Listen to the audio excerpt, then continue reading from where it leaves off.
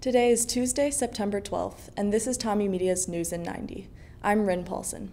After a year and a half of fighting in Ukraine, Russia is replenishing its supplies of ammunition for what could be a long war of attrition. Along with ramping up its domestic arms production, Moscow is turning to an old ally with a vast arsenal, North Korea. U.S. officials expect North Korean leader Kim Jong un to visit Russia soon. It would be a remarkable reversal from the Korean War, when the Soviet Union provided weapons and ammunition to the Communist North. Major corporations from oil and gas companies to retail giants would have to disclose their direct and indirect greenhouse gas emissions under legislation passed Monday by California lawmakers. This is the most sweeping mandate of its kind in the nation.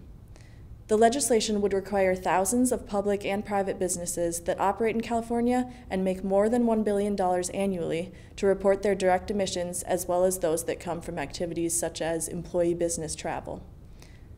The Carver County Library is considering the removal of the book Gender Queer, a memoir, at a meeting today.